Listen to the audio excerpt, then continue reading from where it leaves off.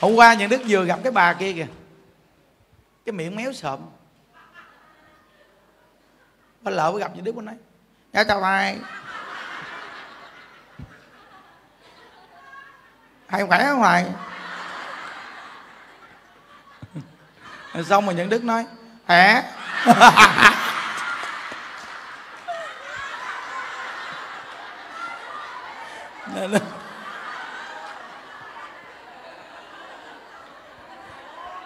nói chuyện qua lại một chút. Đức hỏi ủa cô à, bẩm sinh gì hay là mới đây bị gì? Bà nói dạ không giấu gì thầy? Con chữ chồng quá trời chữ.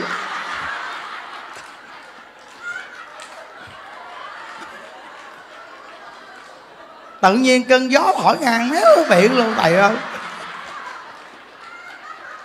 thấy chưa? Kinh không? Chữ chồng quá trời luôn. Cơn gió thổi ngang, méo miệng. Thấy chưa? Còn bây hổm như đức gặp một cái chú nọ, gia đình dẫn đến. Ngồi cứ gì nè? Hỏi, ủa, sao mà tự nhiên kỳ cục vậy? Thằng này nó hỗn lắm, chữ cha mắng mẹ um sùm. Tự nhiên ngủ một đêm, sáng mai tự nhiên nó ngồi đâu có làm nè.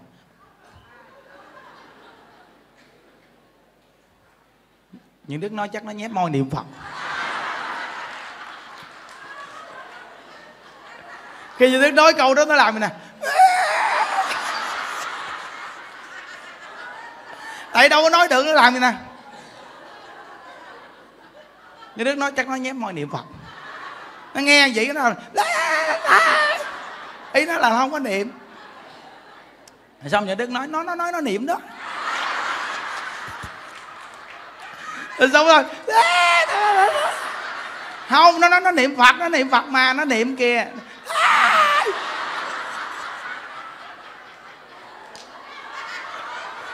Chọc tới cảnh á xong mà anh, anh, anh, anh, anh không chịu niệm phật. Xong nhà đức nói tôi nói cho biết tôi gặp mấy thằng gì rồi đó. Hai năm sau chết. Xong mắt cái làm nè. Sợ xanh mặt xanh mày tôi nói niệm phật là cho sống đó, nghe chưa? Chỉ cần tôi nói niệm phật là im cái miệng lại.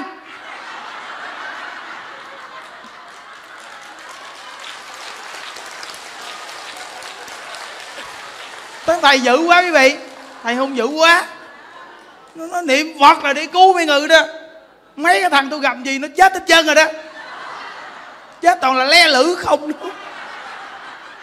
À, Làm cái miệng làm nè Sao thường nhận Đức nói Im cái miệng tôi nói niệm Phật là im liền.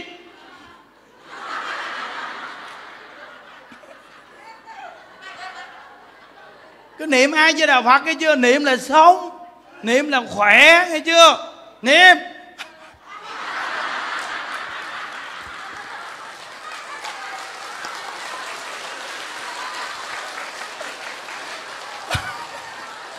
gia đình nó công nhận thầy ghê thiệt. Nó là nó không sợ ai nó, nó không sợ ai nó gặp tôi nó sợ tới một hiểu không? Nên từ nơi đó vậy mà niệm luôn. Thì biết rằng gia đình hồi sáng mới nhắn tin lên, nói, tào gô, cảm ơn thầy. Bây giờ nó về, nó ngồi đâu nó cũng. Tôi chết ta niệm quá trời luôn. Nó thì thấy chưa? Làm sao kệ người ta miễn ta niệm phật rồi thôi chứ.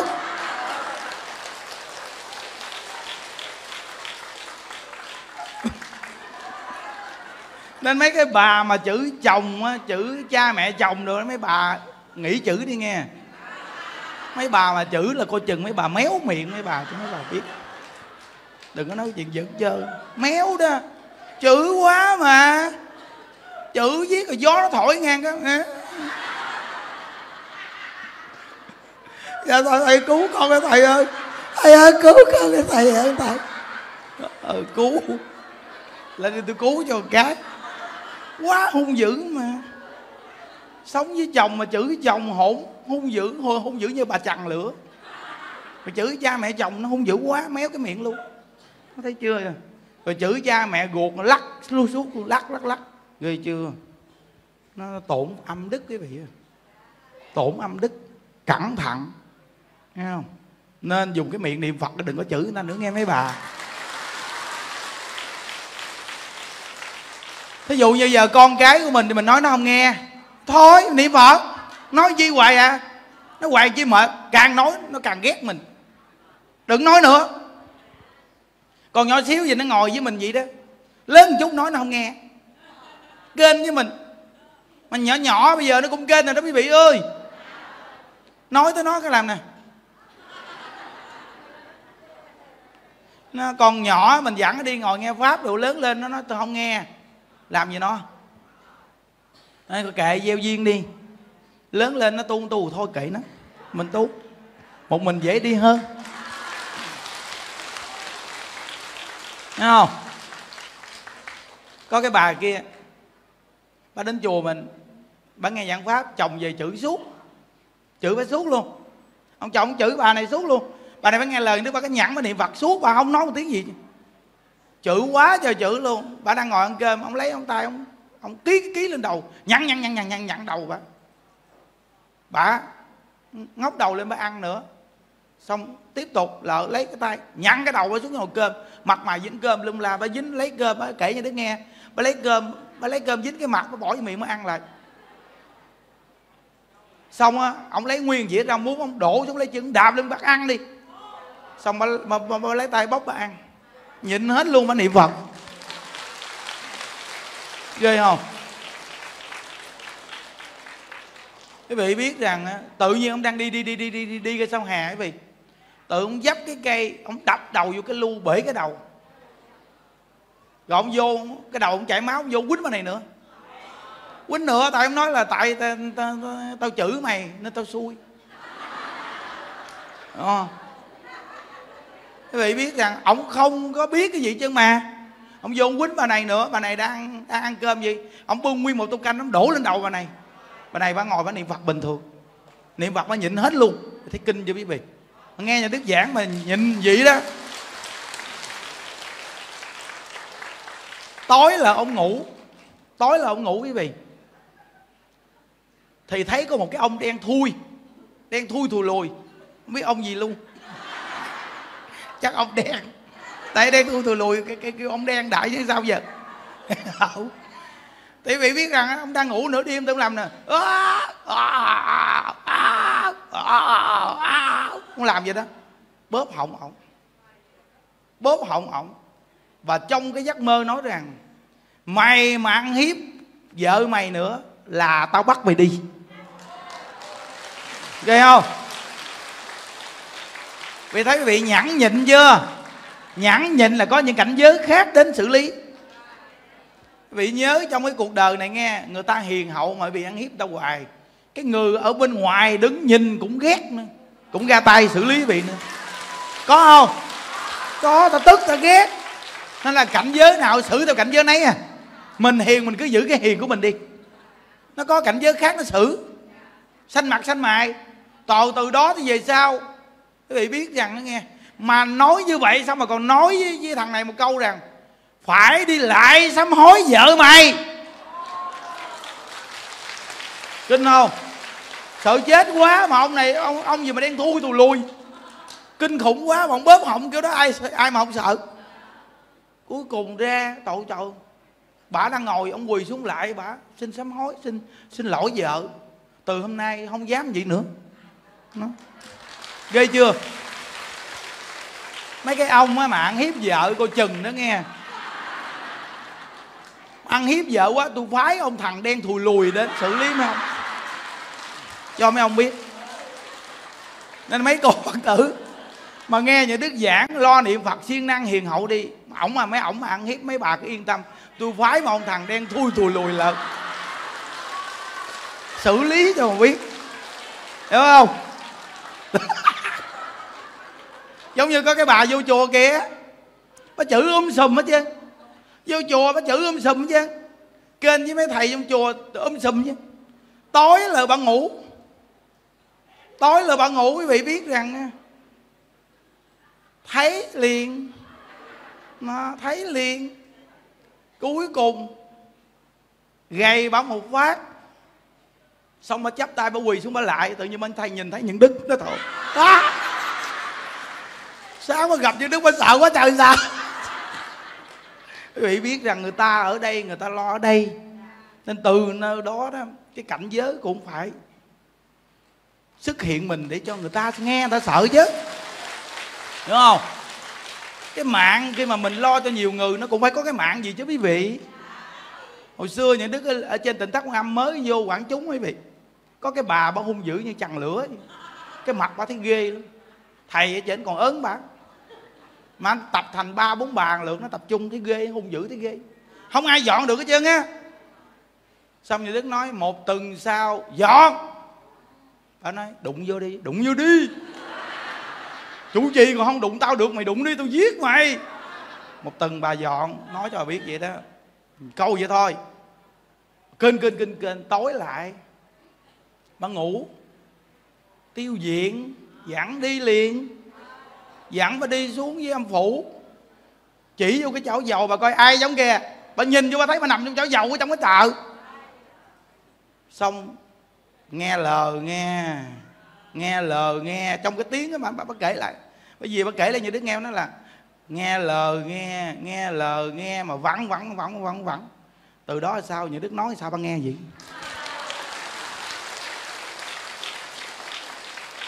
Đây là một trăm phần trăm luôn. Bà đó là dữ nhất, không ai nói được luôn. Mà cuối cùng bị hiền khu tới bây giờ luôn. Không dám hó hé luôn.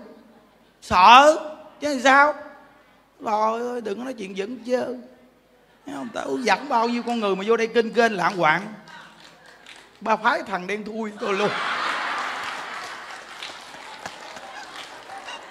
Nên với bà kia bà nói bà niệm phật cho tốt đi. Về hiền hậu đi, đàng hoàng đi rồi sống á, chung thủy nghe. Hồi đó chưa biết tu lãng hoạn đâu. Đi ra ngoài còn á kiếm xôi chè đồ ăn chơi. Có nhiều bà cũng lãng hoạn lắm á. Có chồng rồi mà cũng đi ăn xôi chè chơi lê rai. Từ hôm nay nghe tôi giảng rồi là bỏ tặc này. Bà sống cho đàng hoàng đi. Ai mà đụng tới mấy bà lại có ông thằng đen thui thù lùi đến. Xử lý sao mà biết. ờ à, nó có rồi đó thấy chưa? Chuyện vẫn chưa. Cái bà lại ở đây rõ ràng luôn nè rồi ừ, bao nhiêu chuyện? Bữa nay kể nhiều chuyện cho nghe. Cái lễ viếng quan âm mới xong ta cho thấy mà. Hiểu không? Kể mấy chuyện cảm ứng cho vị nghe. Đó là một trăm phần trăm vì hỏi mấy mấy chú phòng đăng ký đi phải không? À, ra mà hăm he mấy chú rồi thì ghê. Cuối cùng tối lại xuất hiện liền sáng mai quỳ lại sám hối, sợ muốn chết. Không dám luôn. Không? Giỡn đâu nghe quý vị. Phải vô đây phải lo niệm phật. Kênh kênh cô chừng. Thấy không? Nên mấy cô đi rất là đông. Chồng mà ăn hiếp rồi cứ a với đà phật cái niệm phật đi. A với đà phật như cái bà đã học với bà đó đi. Đè đầu đè đầu, đè vô nồi cơm. Cuối cùng mặt dính cơm, còn lấy cơm dính cái mặt ăn luôn. Vậy mà nó bưng nguyên dĩa cơm muốn nó đổ xuống lấy chân, nó đạp lên bắt ăn bà bóc con muốn ăn luôn. Thử coi sao. Cũng sống bình thường. Làm quá đáng quá mà cuối cùng te tua tả tơ luôn. Chồng bây giờ lại bà luôn sợ muốn chết. Bây giờ bà đi chùa bà đang ngồi đây nè. Cái chuyện giỡn chơi thấy không? Còn cái cô này nghe bà, bà đi chùa chồng bà cái chữ bà đuổi đòi hâm đuổi hoài. Bà nói thôi bây giờ con á con sống hết lương tâm con thôi. Bây giờ con từng chủ nhật con được đi chùa thôi còn cả từng lễ con ở nhà con lo bao nhiêu chuyện, cứ chữ đuổi con hoài, thôi kệ. Con đi chùa, cứ con không có thể nào mà tiếp tục ở cái nhà mà có một buổi gì được nữa, con phải đi chùa. Cứ cuối cùng bà cứ đi hoài, đi về là tao đuổi mày, tao đuổi mày.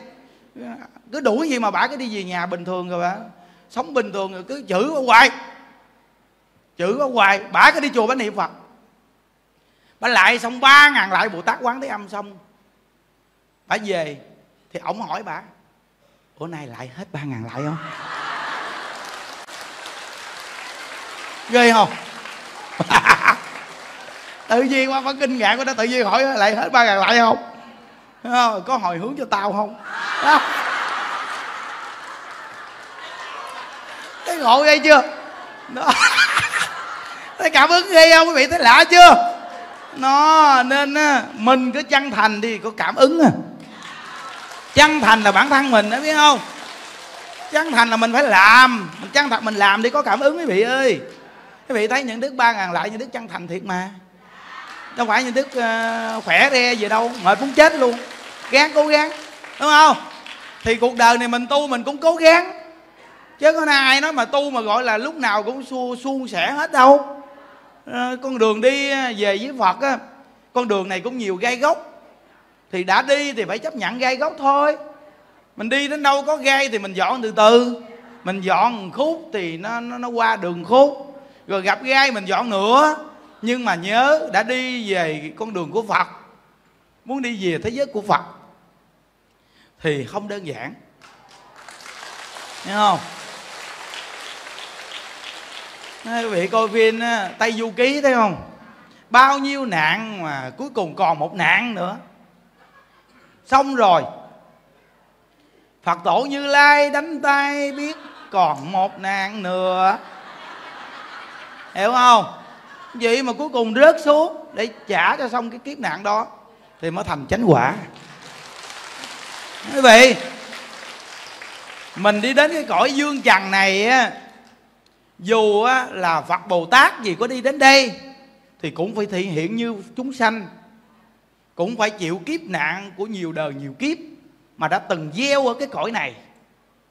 Các ngài đến cái ngày trả, nên nói người đại tu hành có bị nhân quả hay không? Nó mới trả lời lại là người đại tu hành không mê trong nhân quả. Hiểu không? Cũng phải bị người ta chửi, bị người ta chù dập, bị người ta hại te tua. Nhưng mình vẫn tu hành. Nó mà mình vui vẻ mình tu. Còn nếu cái người bình thường thì đấu đá lại, thì làm sao chúng ta về thế giới của phật? Nên đã muốn về thế giới của phật thì phải đi trong gai gai lùng, gai cao, đủ loại gai, nó chuyển biến là nhiều loại gai, để coi bản thân mình có kiên nhẫn đi trên con đường này không? Mà khi đi con đường này qua rồi, quý vị bước lên á, cái bước thiềm của phật bồ tát, lúc đó quý vị mới thấy mình thiệt là hạnh phúc. Đúng không? Vì lại ba ngàn lại bồ tát quán đem vị thấy cũng te tua tả tơ. Có nhiều bà cũng bầm chân, bầm cẳng. Thấy không? Cái bà kia bà đi lại ba ngàn lại xong, bà đâu đó đâu có lại. Lỡ nghe đức giảng, bà lại quá trời lại, bà lại ba ngàn lại. Bà lại xong cái đầu gói bầm một cục vậy nè. Sưng dù dù đen thui. Về thằng chồng nó nói, mày là cái thứ gì nè? Mày đi ba bốn ngày nay xong, tại sao đầu gói mày bầm?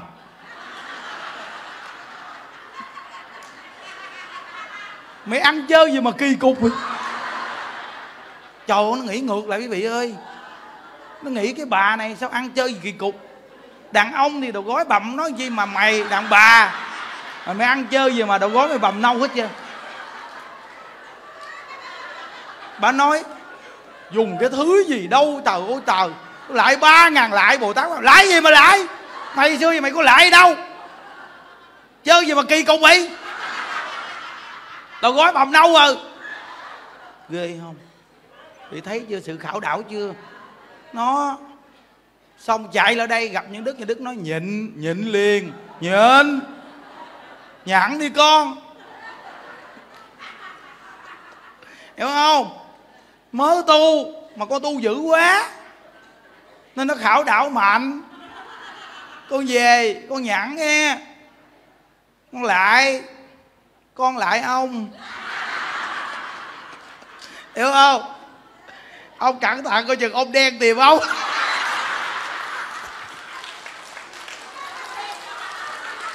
Ông đen thui lùi lùi theo ông chết bồ luôn.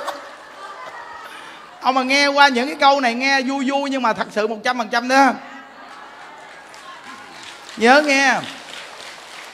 Vợ chồng á, mà có người tu thì động viên cho người ta tu hộ trì cho ta tu mình chưa tu được hộ trì cho ta tu đi. Ai mà cản trở cái người tu hoài mà người đó dặn nhẵn là tôi nói ông đen thùi lùi đến tìm. Trước ngôi tam bảo nhớ nghe. À, không biết ông đen một lùi là ai đó.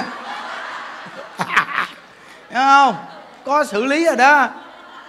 Nó làm cho người ta sợ chứ không có giết ai chứ nghe. Để cho người ta biết được trong cái cảnh giới lục đạo vẫn có người trừng phạt mình đó phải nhớ người ta lo tu hành mà cản trở, người ta hoài, người ta không tu được làm sao? Chúng sanh phàm phu mà đâu phải như thời đức phật. Bây giờ họ đã chịu tu rồi thì phải hỗ trợ họ một tay. Chứ để mà cái tên phàm phu mà nó cứ cản trở hoài với cái thói tâm luôn. Đúng không? Đó. Nên người ta biết tu, người ta tu rồi thì nguyện phật bồ tát gia hộ. Chúng sanh nó cõi này nó yếu lắm. Gia hộ cho nó một chút chứ để nó tè, tả tơ. Tả tơ te tua chưa kìa nó giết cái tu có nổi đâu. Trời ơi, tờ. Thấy không? Gia hộ cho nó một chút xíu, cho nó khỏe. Thì nó mới tu. Thấy tu có cảm ứng. Chứ ngoài ra tu hoài mà thấy không thấy cái giống ôm gì chân nghĩ tu luôn quý vị ơi. Ừ chúng sanh nó vậy đó. Nói quý vị biết rằng như ba ngàn lại bồ tát quán nam lại, xong quý vị thấy không? Phơ phớ thấy không? Nhưng mới lại. Đúng quý vị. Gặp mà lại ba ngàn lại xong mà vài bữa sau bị thấy nhân đức. Thầy à, chắc thầy sống qua khỏi con chăn này quá quý vị ơi, quý vị. Đuối dữ lắm à. Dùng hết công lực. Mười mấy năm tu lại ba ngàn giờ hơi tàn lực kiệt đi không nổi đắp cái y mà đi qua đây mà chống cái gậy gì mà tử nó thôi thôi thôi thôi thôi thôi thôi, thôi, thôi. tu vào cái này không dám tu đâu. Mà gặp ngoại đạo nó nhìn. Ngoại đạo nó nhìn quý vị. Nó nó nó nó nó nó mày thấy chưa? Chết nó tu là nó chết. Sao mà sống nổi thấy không? Nếu mà mình lại ba ngàn lại xong mình phớ phớ. Vui quá trời. Ai nói được mình gì? Đúng quý vị. Đúng không? Đó phải vậy đó. Thấy chưa? À, giống hồi sáng gặp bà cô kia. Mới gặp như đức bà bên nước ngoài gì mới gặp? Có thiệt. Không biết. Biết nhiều thầy lắm. Nhiều thầy nói chuyện ngọt. Đến gần hơi ớn. Nhưng mà thầy nói chuyện giống. Đàn anh đàn chị quá vậy mà nghe thầy phái. Không? bởi vì cái gì nó cũng có cái độc quyền của nó. Hiểu không quý vị? Gì phải có độc quyền chứ? Đúng không? Chúng sanh bây giờ á, mà mình à, à, vuốt ve họ giết nó thấy lờn. Giết làm như nó không có đẳng ngứa. Hiểu chưa? Phải à, tăng cân đồ lên chút xíu rồi ha. Cái đô mạnh mạnh đồ. Chúng sanh diêm phụ đề kiên cường khó giáo hóa. Nó đã là kiên cường khó giáo hóa. Mà mình nói ngọt nó không có nghe. Mày nói nhỏ nhẹ quá. Thư sinh áo giải. Mày đặt nói tao, đúng không? Thư sinh áo giải mà nói tao, nó đâu nghe. Thấy mình nói dữ quá mà mình làm thiệt. Sợ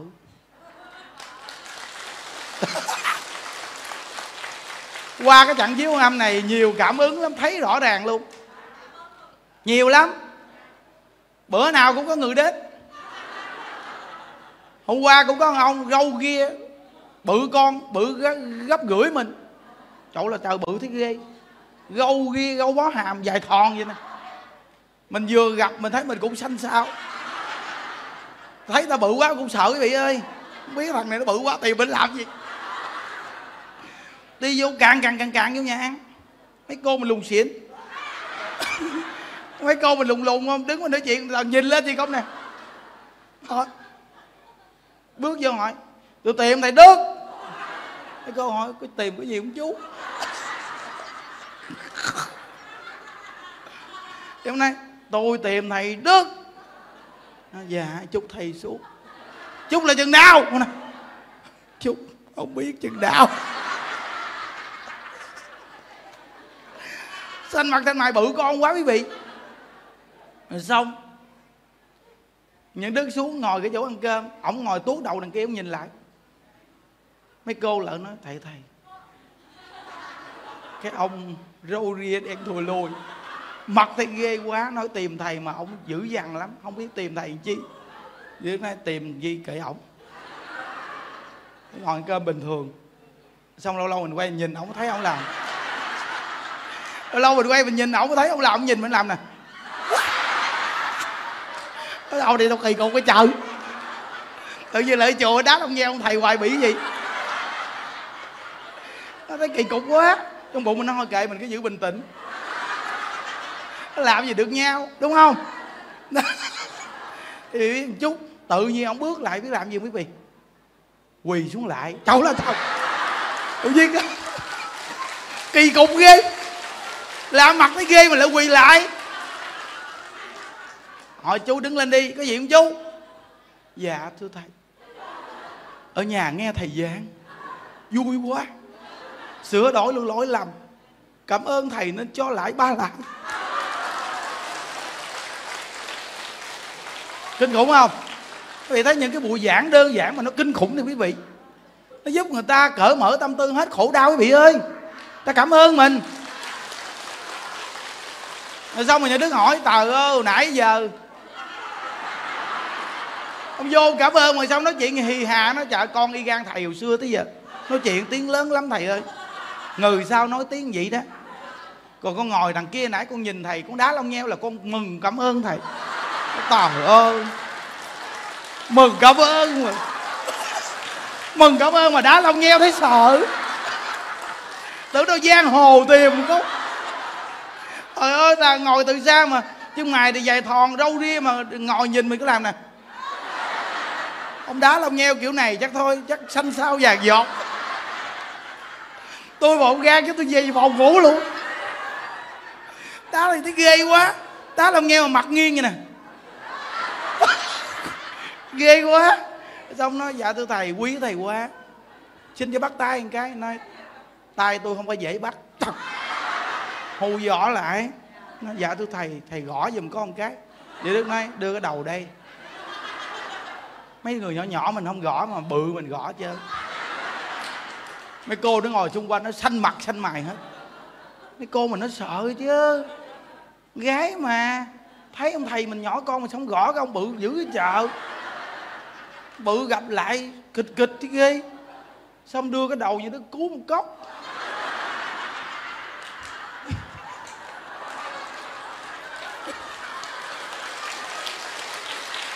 cứu cốc. Xong hỏi thầy chơi mạnh tay dữ thầy. Nói chuyện đi gan mình là ngộ thế kia. nó trời ơi, kêu tôi gõ tôi gõ cho nó mạnh. Tại ông bự con, đô ông mạnh, gõ mạnh. Gõ mạnh nó tốt nhiều. À vậy cảm ơn thầy.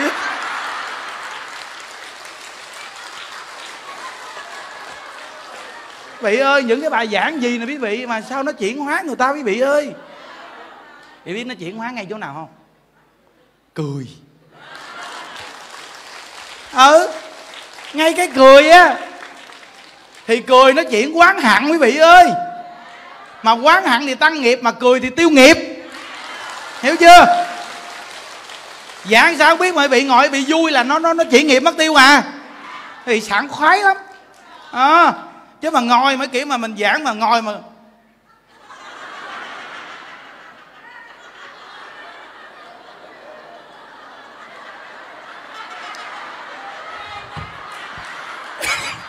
vì cái, cái kiểu đó nghe gì dạ có hay cái nào hay bây giờ ở dưới ông nào bà nào cũng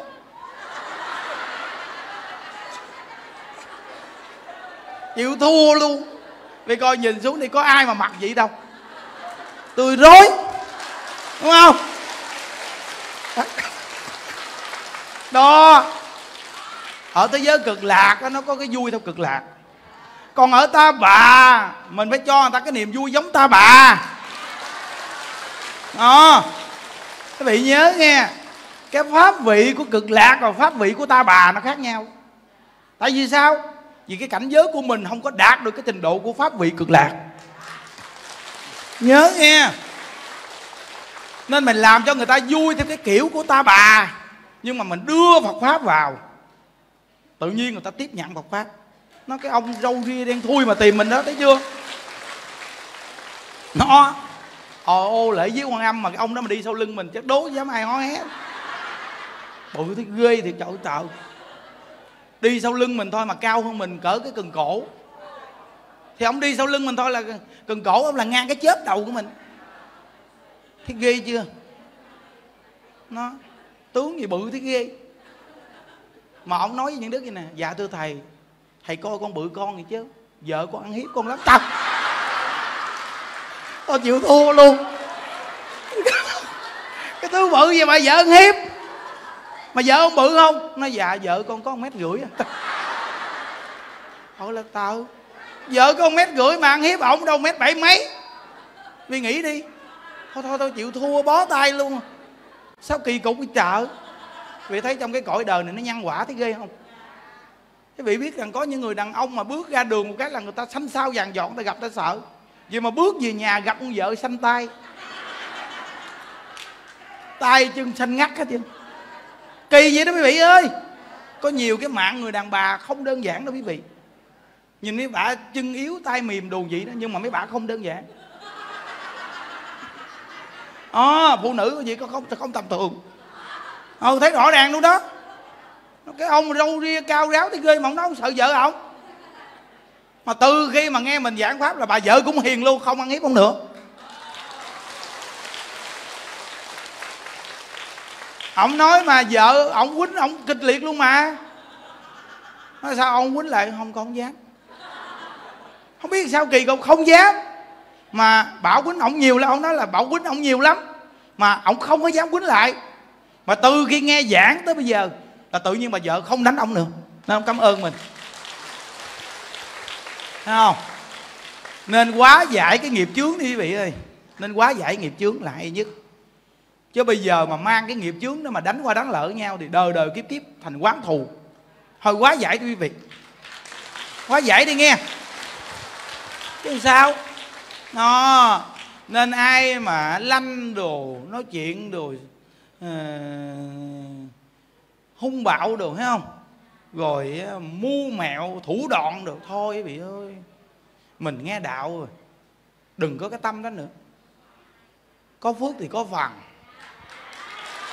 Có phước thì có phần, quý vị ơi. Cái mưu mẹo mà nó thành công được là do mình còn phước. Cho nó hết phước, mình có mưu mẹo cỡ nào mình có không được cái gì. Hiểu không? Sao? Hiền là chắc ăn nhất. Thấy rồi mấy chục năm người dữ dằn đi đọa địa ngục, mấy chục năm người hiền hậu niệm phật về cực lạc. Chọn đi. Đúng quý vị? Ờ. Nhưng đức thấy hiền niệm phật là hay nhất. Nó hiền cũng như cái lưỡi vậy đó. Còn giữ như cái răng vậy. Cắn lia, cắn lịa và cuối cùng cũng đụng trước người ta. Thấy không? Những đức nói rằng ba mươi mấy cái răng của chúng ta nó có gãy hết chúng ta vẫn sống. Nhưng lưỡi chúng ta chỉ cần đứt là chết. Thấy không? Nên á, cái hung dữ nó không có tồn tại. Nó cũng như một cơn bão tố cuồng phong, tuy là nó ầm ầm, nhưng mà phút chốc thì nó tan biến. Nó đâu có bằng một cái dòng sông im điềm. Nó chảy mãi với thời gian. Đúng quý vị? Đó. đó cái người hung dữ á, có người ta nhắc mà ta nhắc cái tiếng xấu ác. Còn cái người hiền đức thì người ta cũng nhắc mà ta nhắc cái thiện lành. Mỗi lần ta nhắc tới người hiền đức thì tự nhiên sanh phước. Còn mỗi lần người ta nghĩ tới người ác là người ta chửi người ác là có tội. Bản thân mình cứ tội mãi vậy đó quý vị ơi. Thấy không? Nó nói là quan ổn cho người hung ác. Thấy không? Quan uổng cho người hung ác. Tưởng đó mình là hung dữ bạo ngược là mình thành đạt sự nghiệp bậy. Quan uổng đó là quan uổng, quan uổng quý vị ơi. Hãy tin nhân quả đi. Nghe không? Tin nhân quả đi. Bây giờ chúng ta muốn về cực lạc mình chịu thiệt được hết. Nghe không? Sống với người ta người ta bỏ mình để con nuôi chơi. Chứ sao? Nó bỏ mình mình nuôi con. Thấy không? Không bước thêm bước nữa gì hết. Sống vậy nuôi con đó. Dạy con đàng hoàng đi, móc bọc cũng nuôi con nữa. Chứ không lấy thằng nào nữa chứ. Đúng không? Khi chồng mắt coi cũng nhan sắc cũng còn được. Có thằng đến tìm, nói em đúng không? Đến với anh đi, cho tiền xài lấy đây này.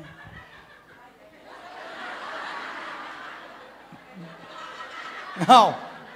Ra nha ra nha. Để tôi yên nghe chưa?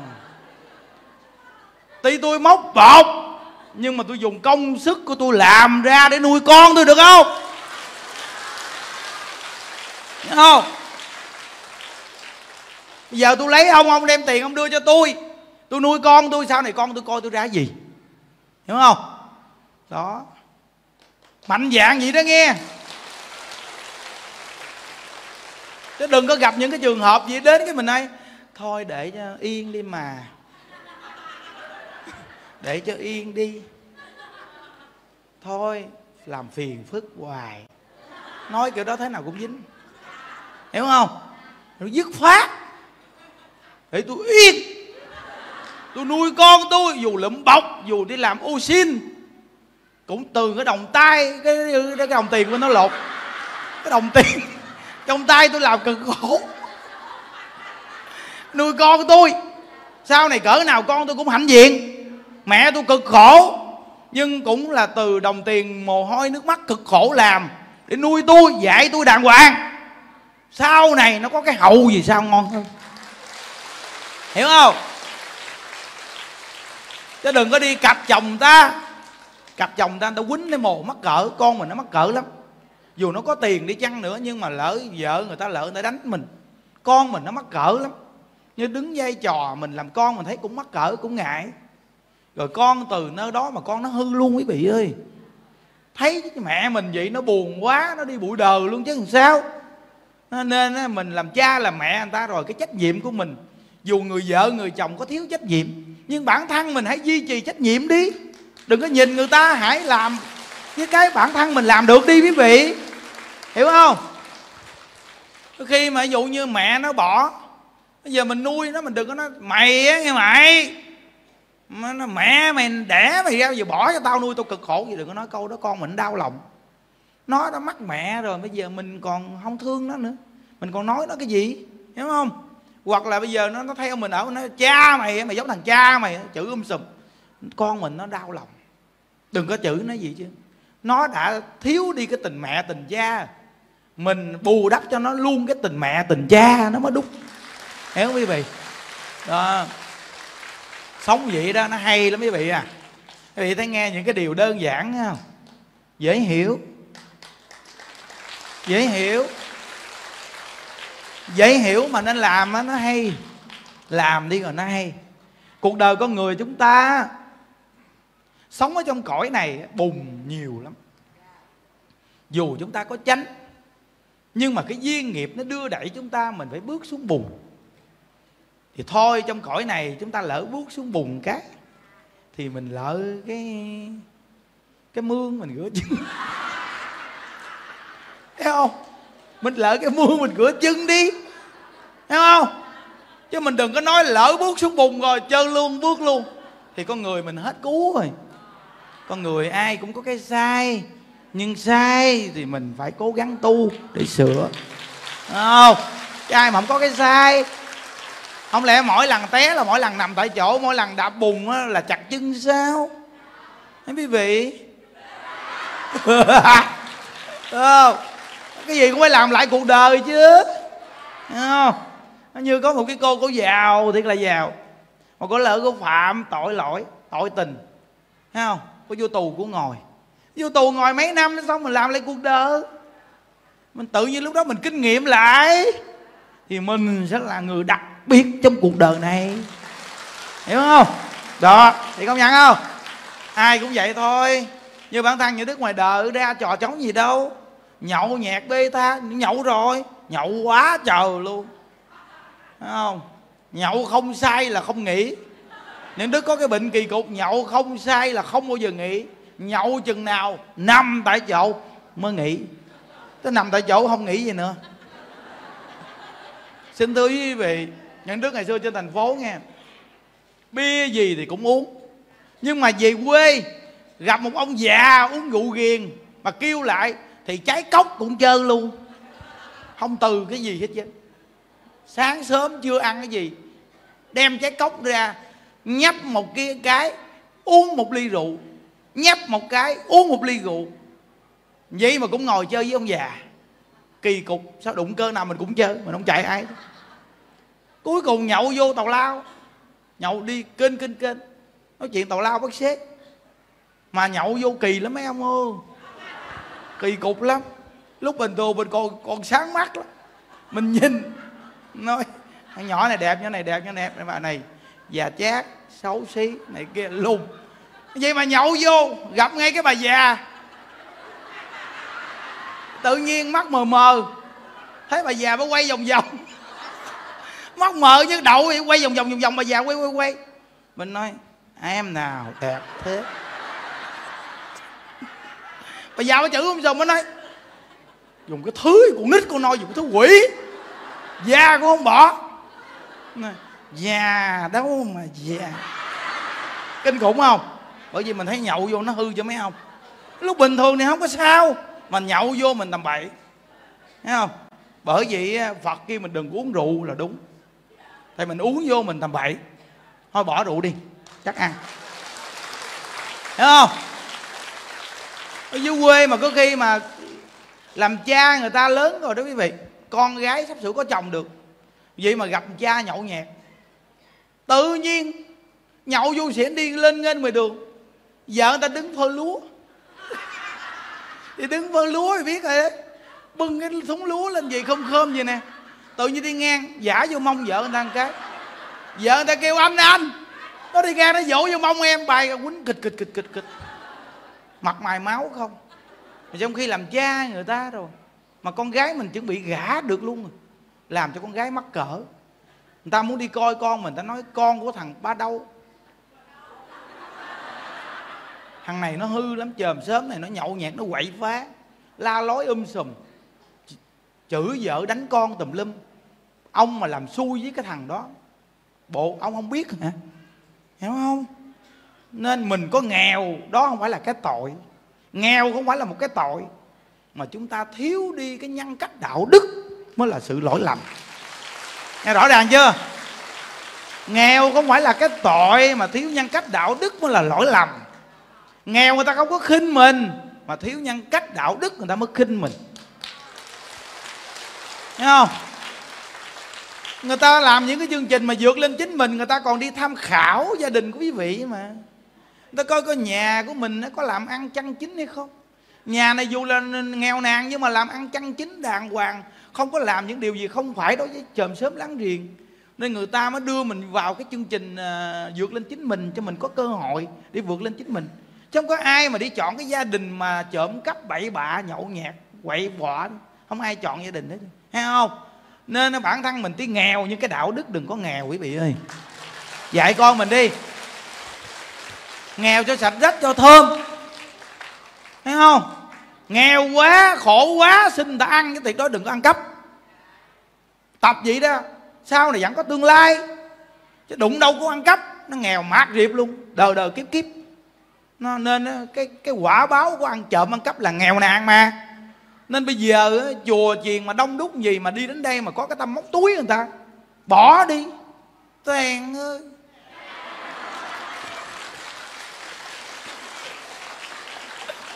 lấy cái đầu tiền móc túi người ta về nuôi con mình. Mà mình ngước mặt nhìn con mình nổi không? Không lẽ mà nói cha mày bữa nay là đi móc túi phật tử, đem tiền về nuôi mày. Trời trời, mắc cỡ chết mồ luôn. Hiểu không quý vị? Thà cầm cọc giấy số bán cũng là cái công sức của chính mình làm ra. Nó dù cho chút đỉnh tiền nhưng mà một buổi ăn đơn giản vẫn là ngước mặt nhìn đời. Đúng không quý vị? Đúng không? Không nói vui vui chứ mà có những đạo lý nghe bình tĩnh ngồi suy nghĩ nghe. Hãy bình tĩnh. Đúng không? Nghe có những đạo lý hay lắm á quý vị ơi. Tại sao người ta nghe mà người ta được lợi ích nhiều dữ vậy? Là gì có những lúc nó vui nó làm cho bi tĩnh có những lúc thì thâm trầm làm cho bị si tư. À, đó. Nên Phật pháp nó hay lắm. Có những lúc mà nếu mà lúc nào cũng vui hết trơn á, nó làm người ta không có ngồi để mà bình tĩnh suy nghĩ. Về lời nói. Nên có những lúc nó phải trầm lại, mà trầm vừa vừa thôi trầm quá mấy bạn ngủ. Người mình mau ngủ ghê lắm mấy ông ơi. Mấy bà này mau ngủ. Chỉ cần nói hiu hiu thôi. Không? Chỉ cần nói hiu hiu thôi là ru em vào mộng luôn. Ngủ tá lả ở bên mà ngồi. Bả giống mấy kênh mình vậy đó. Mình nói chuyện mà vui thì ô vỗ tay um sùm. Còn nói chút mà buồn ngủ ngồi làm nè. Nơi sao bao nhiêu còn mắc kênh tôi ghê quá. Nghinh mặt kỳ cục quá, hiểu không? Ngồi đến giờ ông kiệt nè, ông tâm nhiên này nè chỉ cần quý vị mà nói chuyện một chút mà không cười là ông ngồi. Ông ngồi quay phim. Mà ông mở máy quay lên không à. Rồi ông ngồi ông ngủ. Ngồi ngủ hoài mà. Có khi phật tử ngồi kế bên, mà thấy ông làm nè. Tự đâu chỉnh máy không à. Tự đâu chỉnh máy gục gạt đó quý vị. Cho ngồi nhìn lại thấy ông làm nè.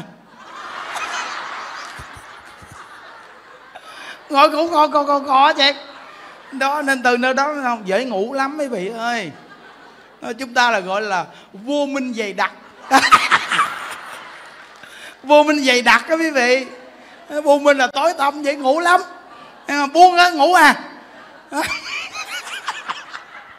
Chứ đức ngồi nhìn mấy cô bữa nay, những đức hồi tưởng lại cái bữa lại giết hoa không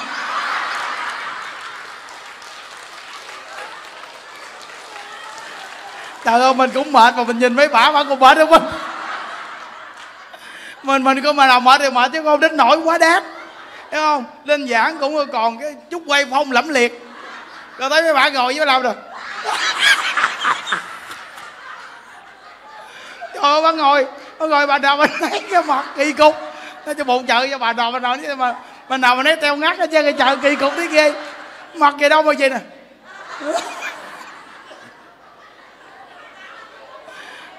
Đuôi bà đuôi nhưng là bà chuyện bà đuôi ác đạn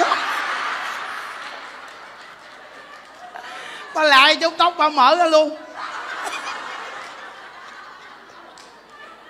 Hồi ôi nó phủ lên. Nhìn bà. te tua tả tới chứ. Không, mà nghĩ là phật tử chùa mình nhiệt tình, chịu chơi thiệt. Không? Không, mà quý vị thấy không? Mà quý vị đồng hành những đức quý vị thấy có kết quả không? Có kết quả luôn mà. À, nói vui vui vậy đó nhưng mà cái gì làm là làm thiệt á. Giỡn đâu. Nó như quý vị thấy không? Dưới di đà chưa chân là đưa lên chương trình là quý vị thấy là mê rồi đó. Đúng không? Mà trong dịp lễ dưới quan âm là nghỉ dưới di đà nghe. Chứ không phải là tính trước đâu.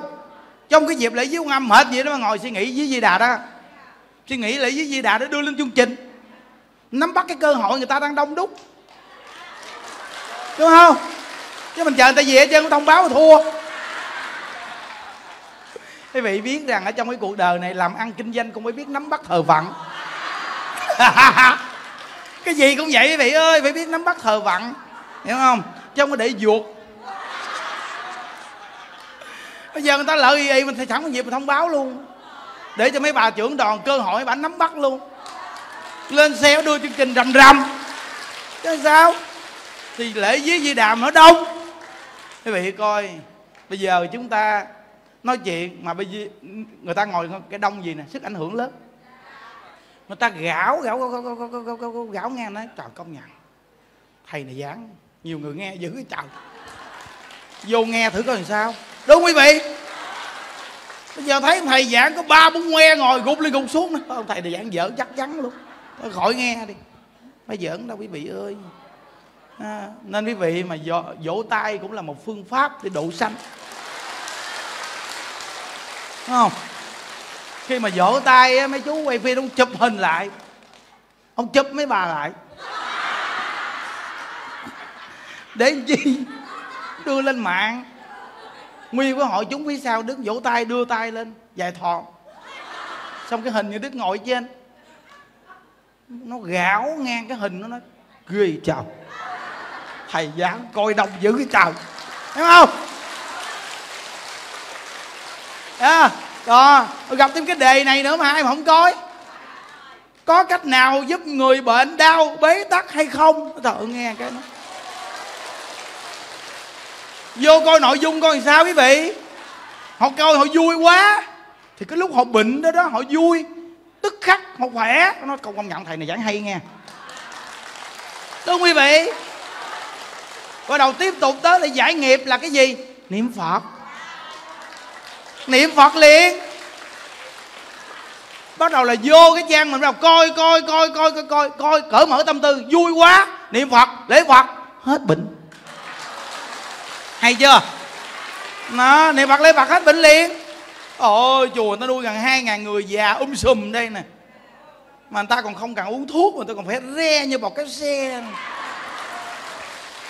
Tự nói chuyện vẫn chưa? Thấy không? Thấy chùa mày nè.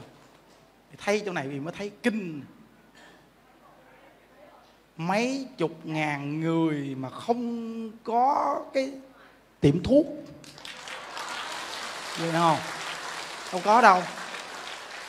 Tuy là phòng khám kế bên, nhưng mà tối người ta đóng cửa mất tiêu. Người ta đâu phải là cái cái cái cái việc phục vụ cho chùa mình đâu quý vị. Hiểu không? Mà dưới cái hội chúng mà đông đúc đó, thì quý vị biết ai mà bệnh thì cũng không biết. Vì đông người gì có ai biết đâu. Hiểu không? Vậy mà lễ xong ba ngàn lại, ai cũng đi ngon lành. Đi phơ phớ đúng không? Đi như gió thổi mây bay. À, ôi có cô đó bữa đó cô lại ba ngàn lại xong có nói thầy ơi thầy con lại ba ngàn lại xong nhiều người khen con đi đẹp. Ừ. Ngộ ghê thầy. Đó ủa, sao ngộ trời? Lại ba ngày lại xong ai cũng khen mới đi đẹp. Xong trong giờ đến hỏi, bà đi thì sao? Cái nói, để con đi cho thầy coi này nha. Bà đi tự nhiên chân bên này chéo kia đi chéo lại về chân này chéo qua, chéo lại, chéo qua, chéo lại. Rồi cái mông nó ẹo ẹo ẹo ẹo ẹo à thì ra bà bị nhức cái đùi phải không? Nó dạ đúng rồi. Nhức cái đùi mới đi, ẹo qua lại cái mày ẹo ẹo lỡ mới đi. Trời ô gì mà anh khen mới đi đẹp. Đúng rồi qua cái trận lễ dưới con âm này đúng là kỷ niệm. Khó quên quý vị. Đúng không? Kỷ niệm quá khó quên mà. Mà sự thành công gọi là xanh sao vàng giọt. Cái này thành công mới là, là hấp dẫn. Quý vị thấy không? Nếu như mà thành công mà mà mà, mà đứng mà thì ở dưới ai chịu nổi mình? Sự thành công của mình là phải te tua tả tơi quý vị thấy bữa đó như đức không? Bò lết luôn có những đoạn, đoạn những đức mà đứng nó đâu có được đâu quý vị. Đứng chùm hổm. Đứng mà giống như ngày xưa mà còn ngoài đời mà đứng chụp hình. Đắp y mà đứng chùm hổm mới ghê chứ. Kinh lắm. Thấy không? Vậy mà vẫn là quyết chí. Quyết chí quyết chí. Thấy không? Tu hành là phải quyết chí bị ư thấy không? Nó quyết chí là thành công à, phải nhớ nghe. Nên kiên nhẫn là thành công. Nhẫn nhịn là thành chánh quả. Những câu quan trọng đó quý vị. Nhớ nghe không? Muốn thành chánh quả thì phải nhẫn nhịn. Quý vị mà nhẫn nhịn viết á nhất định nó mà hại hoài, nó quậy hoài là tôi phái thằng đen thui thùi lùi đến.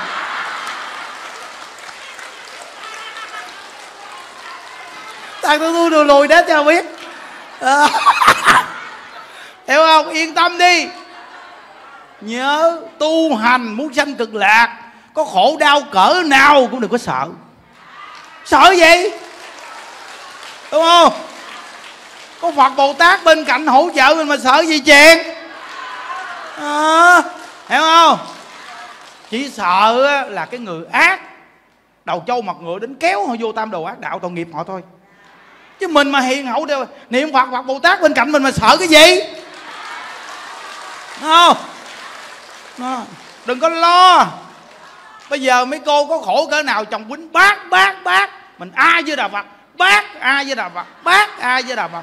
Bác ai với đà phật cuối cùng mình nằm bác ai với đà phật bác ai với đà phật không biết vì thấy lục tổ huệ năng chưa thấy câu chuyện lục tổ huệ năng chưa nó quýnh lục tổ huệ năng bạch bạch bạch bạch bạch bạch bạch lục tổ huệ năng quýnh đâu đi bạch bạch bạch bạch bạch bạch bạch cuối cùng thằng kia nói sao trời không biết người này người gì luôn ghê quá ghê không run luôn sợ luôn vì cái tâm kiên nhẫn quý vị cái tâm tin phật bồ tát đúng không quý vị? Yên tâm nè, cái chỗ này mới là cái chỗ đặc sắc quý vị, để ý nè.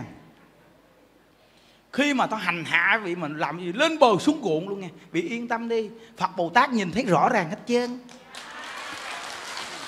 Rõ ràng hết.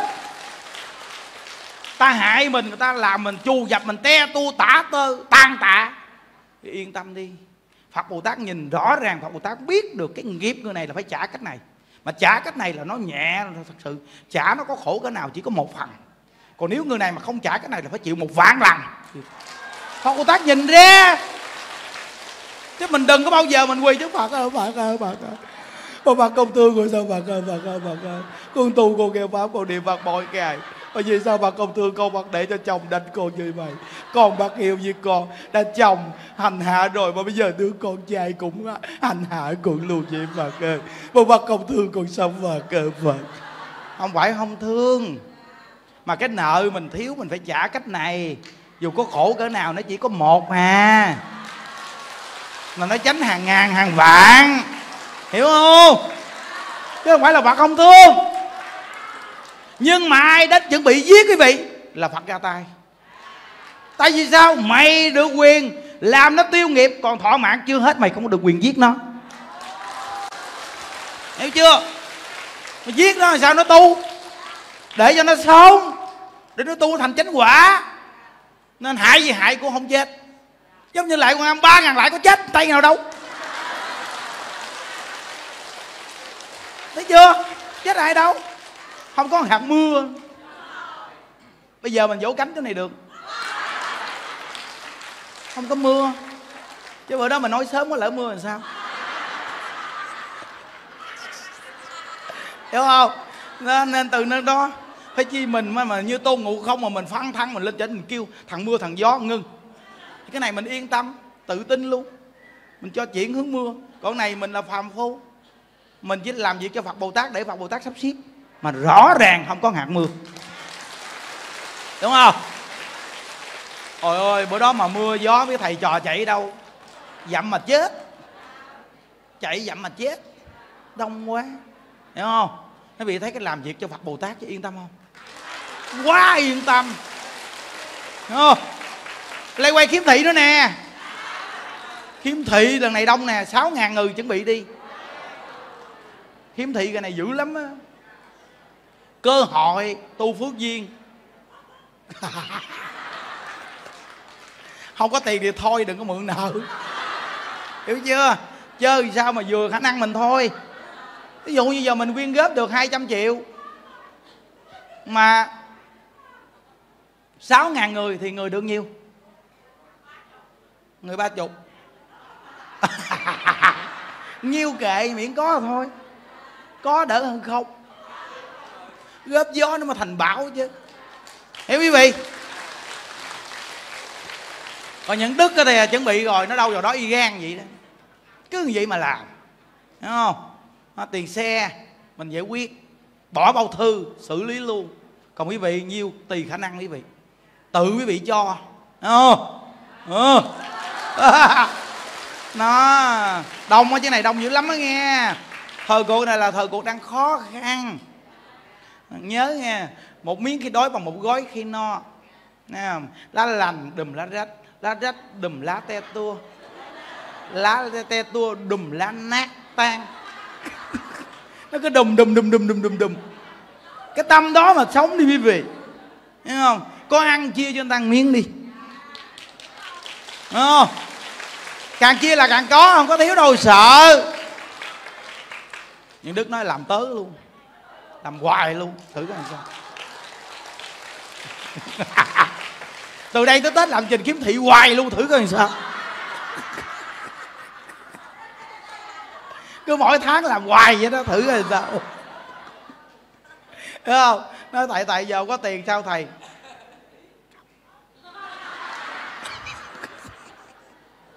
Kiếm tiền. Sau lưng vì nhìn ai? Sau lưng. Thấy không? Ai? Di đà. Khi quý vị làm việc vì chúng sanh thằng hộ pháp kêu người đem tiền đến. Nhớ nghe. Ồ, đó. Bồ tát vi đà hộ trì người tu đạo. Yên tâm đi. Nói vị thấy không? Bao nhiêu chương trình những đức làm? Thiếu đâu mà quý vị cũng đâu có thiếu hiểu không? Hồi thấy mà về chùa mà thấy mà cô nào cô nấy mà tôi thấy mà mà, mà sáng sủa vui vẻ là tôi mừng rồi. Hiểu không? Sống sao không biết mà thấy mấy cô mà vui vẻ quan hệ được rồi đó. Gặp nhau mà ai với đà phật. Thấy được rồi. Chứ đừng có gặp nhau. Nó thê thảm đó quý vị gặp phật pháp rồi từ hôm nay không khổ nữa. Nhớ kỹ nghe. Có nghĩa là hoàn cảnh nào cũng không khổ. Quyết định hoàn cảnh nào cũng không khổ. Rèn đi quý vị. Câu này sau này nhắc mình luôn nè. Lỡ mình có sự cố trong cuộc đời, nhắc mình. Hoàn cảnh nào cũng không khổ. Vì sao? Vì chúng ta có chỗ đi về rồi. Đúng quý vị. Mình đi về cực lạc làm sao khổ? Đúng không? Phải siêng niệm phật nghe. Ở nhà công phu hai thờ ổn định. Mỗi ngày nghe pháp. Khỏi cần đi vòng do tâm quắc chồm sớm láng giềng cho nó mệt. Cứ ở nhà rảnh là bắt pháp nghe. Cứ vậy đây là bình yên. Đúng quý vị. Mình làm mình kiếm cái phòng nghe, mình mình làm cái phòng trong nhà của mình nghe. Cái phòng này gọi là cái phòng nghe pháp của mình, phòng ngủ mình luôn. Bắt cái máy lạnh nho nhỏ chơi máy điều hòa, bật mát lạnh. Rảnh rỗi vô phòng nằm nghe pháp cừ chơi được không? Đúng không? Này mới là hưởng thụ nè. Hưởng thụ cao cấp. Đúng không? Lúc trước mình đi mua sắm kem phấn mệt. Hỏi luôn. Giờ không? Ở trong phòng nghe pháp được không? Ở nhà tranh mà biết thiên hạ. Thấy không? Vì thấy những đức ở chùa mà biết thiên hạ thấy chưa? Nó ở trong chùa không mà giảng bao nhiêu người người ta nghe được đó. Nó Giống như năm xưa mà Gia Cát Lượng ở nhà tranh mà biết thiên hạ. Như thế nào thế nào đó. Vì ở một nơi bị nghe Pháp với thông minh. Chí xác. À, Khỏe biết bao, Đâu có đụng chạm cái chuyện của ai. Đi vòng do tam quắc nhiều chuyện nhiều điều Chi cho mệt mấy bà. Có việc thì làm, Không có việc thì vô phòng nghe Pháp. Thấy không? Hiểu không? Cái chỗ nào bán hủ tiếu bún riêu gì đó, bắt máy niệm phật nghe pháp lên. Thấy không? Bán tạp hóa gì, nghe pháp bắt lên luôn. Phải chẳng mua cái tivi bự chà bá để luôn, thử có được không? Ờ nghe pháp được mỗi ngày, vui mà. Vì nghe mấy buổi này lỡ cũng thấy vui nữa. Đúng không? Vậy thì quá hạnh phúc rồi, còn gì quý vị? Trời ơi, sống trong cái cõi đời này mà bây giờ chúng ta được gì là quá hạnh phúc rồi. Thấy không? Gặp ngôi chùa mà nhiệt tình, vui vẻ, gặp ông thầy cũng chịu chơi quyết chí cầu sanh cực lạc. Đâu mà tìm ra.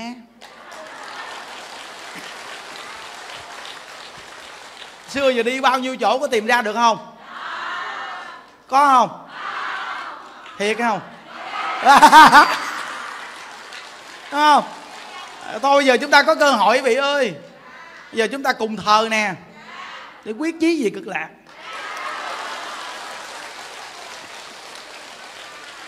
Giờ còn buồn ai để trong tâm không?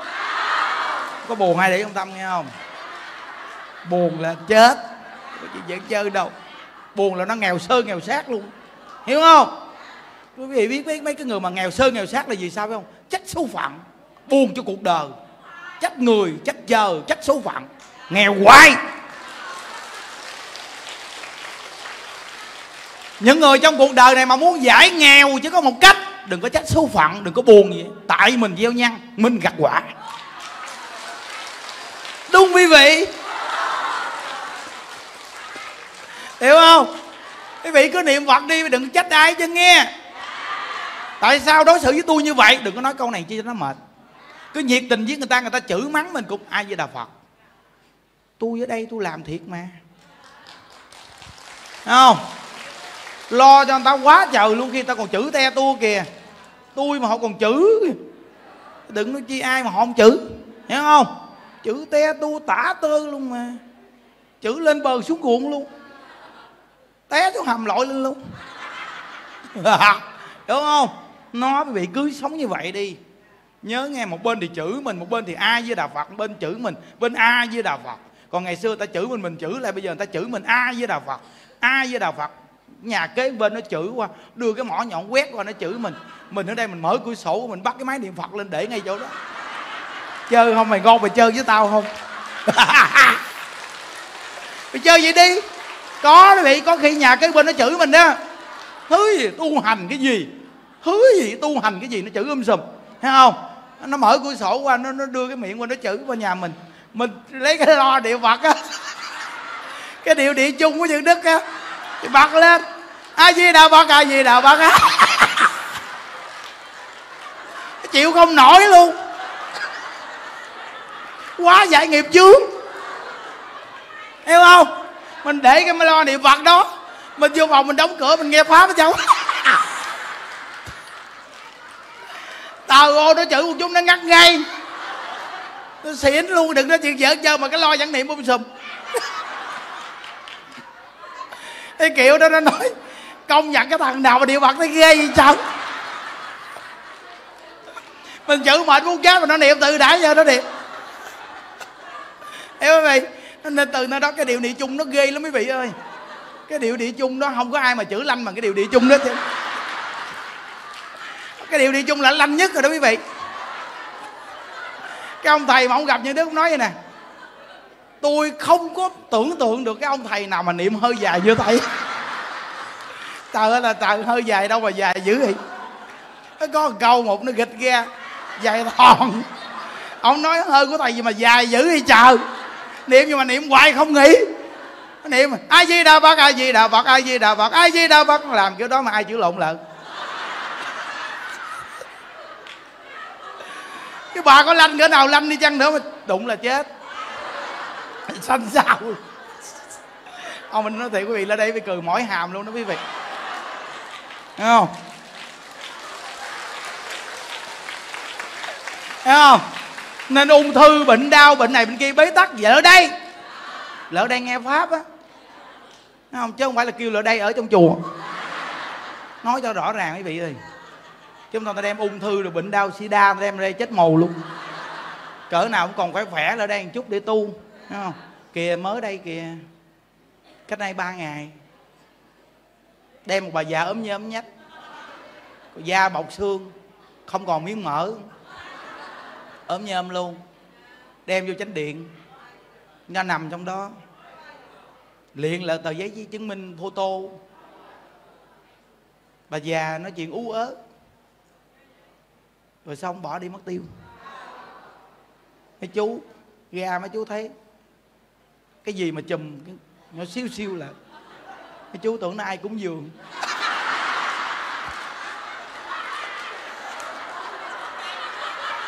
Cái chú tôi ông gặp cái gì ta chùm chùm là là là ông tưởng nó là sắp sửa làm phật sự ta đem tiền lên cúng dường. Ông chạy chờ ông chạy ha ha, hào hển hào hển, ông chạy lên nói, thầy ô thầy, ở chánh điện một cột đen thôi chùm lại, nghi ngờ ai cúng dường một đống tiền hay gì. Thầy xuống, thầy coi để chứng minh đi. Mình nghe nói kiểu đó, mình nói, chắc là sắp sửa làm trình kiếm thị nên bồ tát vi đà kêu người cầm tiền đó. Được, mấy chú mở đường, dẫn cho đức đi coi coi cái gì. Ồ ô xuống, mở ra, gặp bà già nằm chèo queo. Nói, trời ơi, cúng dường đâu mà cúng dường. Bồ tát di đà cúng cho một bà già. Hỏi bà cụ, bà đâu đến đây? Nó nhìn mới làm nè bà đâu đến đây bà cụ ở đâu bà ở đây con con con con con con trai con con con con con dâu chéo đêm đây bỏ ở đây nghe chưa nghe nghe nghe được không con trai con dâu cháu đem bỏ ở đây Hiểu không? Rồi nhà bà ở đâu? Giờ giờ giờ mất mất mất tiêu. Giờ nhà mất tiêu. Giấy chứng minh này giấy chứng minh này phải chỗ này không? Ngày ngày xưa ở, ở, ở đây nhưng bây giờ giờ hộ khẩu. Bó tay luôn quý vị ơi ngày xưa ở đây bây giờ giờ hộ khẩu mất tiêu rồi đi mất tiêu rồi. Không có ở đây nữa. Vậy bây giờ, giờ, giờ, giờ bà đi đâu nói? Không không biết. Đi đi đi đi đi đâu? Vậy giờ giờ giờ giờ ai nuôi bà? Ai nuôi bà? Thầy thầy thầy thầy nuôi.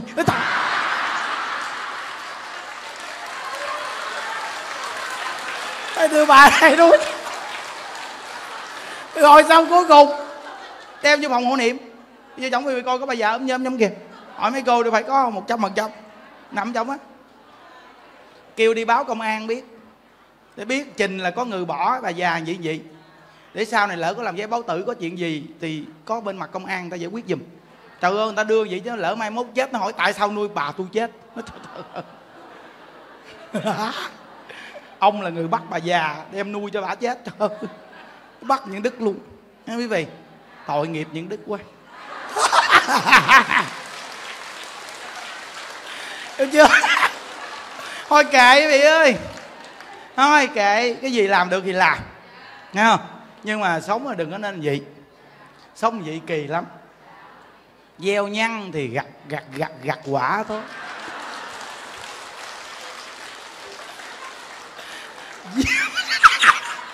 cả lâm viết giờ cũng, cũng, cũng quen luôn. Cái kiểu này mà lên mà mai mốt mình điệp bổn sư mình đinh đinh đinh đinh vô là bắt cân liền. Nằm một bu bu anh gặp phật tử đây. À, t, t, t, t. kiểu là lâm quý vị gặp phật tử á. À, t, t, t.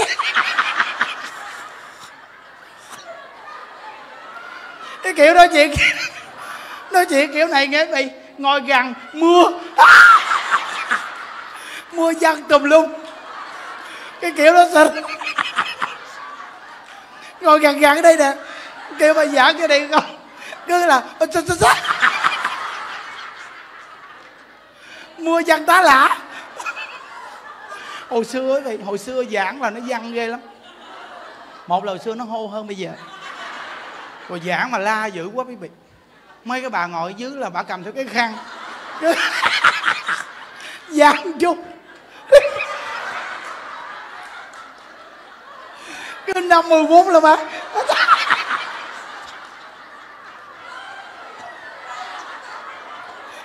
Chị bà ngộ ghê. Mấy bà mấy bà vẫn thích ngồi gần hỏi ồ, cô. Sao kỳ à sao giảng văn nước miếng tùm lum mặt mày mà từng nào cũng lợn ngồi kế bên nghe chị mới nói là nước miếng của thầy chị tàn nhang. À, nó, nước miếng của chị tàn nhang. Nó nói vậy đó. Trời ơi nó nói hồi xưa mà cô tàn nhang đầy luôn á thầy. Mà từ khi nghe thầy giảng tới giờ nước miếng nó văng như mặt sao hết tàn nhang. Nó bà ngồi bên dưới bà đưa mặt quá lạnh thấy ghê không? Mới đưa mặt mà hứng nước miếng quý vị. Nó chị tàn nhang. Không phải cái này cái này vì đừng có đồn tùm lum la chết mù luôn. Ôi quý vị ơi ngộ ghê. Quý vị thấy không sao cái cái cái cái người giảng pháp đó, nó có một cái những cái điều lạ kỳ quý vị ơi. À, làm như cái pháp hỷ nó sanh ra quý vị và tự nhiên cái cơ thể người ta nó văng cái gì ra là cái đó là không đơn giản.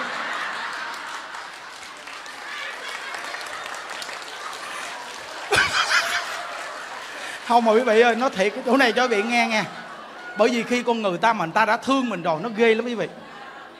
Bữa đó lễ quan âm. Nó quá mỏi mệt, nó không còn cái cảm giác của cái cái cái cái giữ được cái chừng mực của cơ thể. Nó mệt quá khi đi lên cầu thang. Thì mấy bà phật tử mới chạy theo lên cầu thang thì lúc đó đi lên nó bước nó, bước chân nó, bước thầm lắm vị bước thầm bước thầm. Cứ đi từng bước thầm quý vị bước lên từng bước thầm bước thầm. Thì quý vị biết rằng cái lúc lễ không biết làm sao rồi nó tồn hơi thì sao quý vị? Thì mấy bả đi đi sau lưng quý vị đừng đi sau lưng, mình chơi một trái miền một cái tốn. Ba, bốn bà đi sau lưng mình chơi một cái miền một cái tủng xong nó ngồi bà, bà đi sau lưng nó làm nè.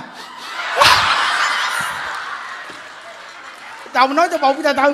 Kinh khủng cái chợ Thôi xin, xin, xin lỗi nha mấy cô. Trời ơi. Thầy đi lên mà nó nó lên góc cao mà mệt quá. Không kiềm chế được trơn chứ miền Xin lỗi. Nó không có sao đâu thầy Thầy cứ làm thoải mái. Kinh khủng không quý vị? Cái thương rồi nó ngộ ghê quý vị ơi. Hay quý vị không? Sống mà cho người ta thương quan trọng ghê quý vị. Thấy không?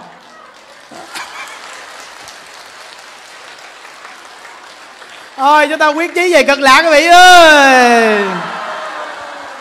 Thôi, giảng đến đây thôi. Nghỉ. Chúc quý vị an lạc nha. Mong những người bệnh đau ai cũng à, nghe được Phật pháp nha vui vẻ rồi cởi mở tâm tư. Rồi niệm Phật để hóa giải cái nghiệp bệnh đau nha. Ai về đầu Phật? Ừ. Nguyện đem công à, đức à, này hướng về khắp cả đệ tử và chúng sanh. Đồng sanh về tịnh độ